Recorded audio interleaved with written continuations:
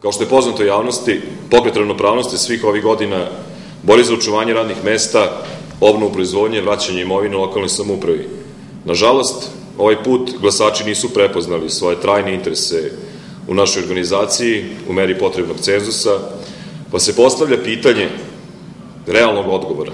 Naime, sam odgovor je u, sračnutoj kampanji koja se vodi protiv akcionarsko-radničkog rukovodstva i menadžmenta Jugo Remedije i njenog vede direktora gospodina Zdravka Deurića.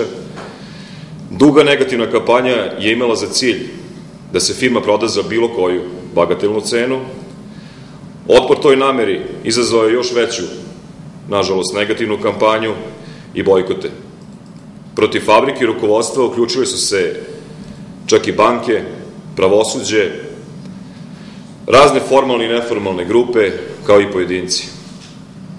Ova neosnovna halabuka i hajka uticala na birače da zapostave svoje trajne interese, kao što su radno mesto, učuvanje vlasničkih prava, bazna proizvodnja i tako dalje, i da se priklone nekoj političkoj partiji koja će ih navodno zaštititi od samovolje vlasti.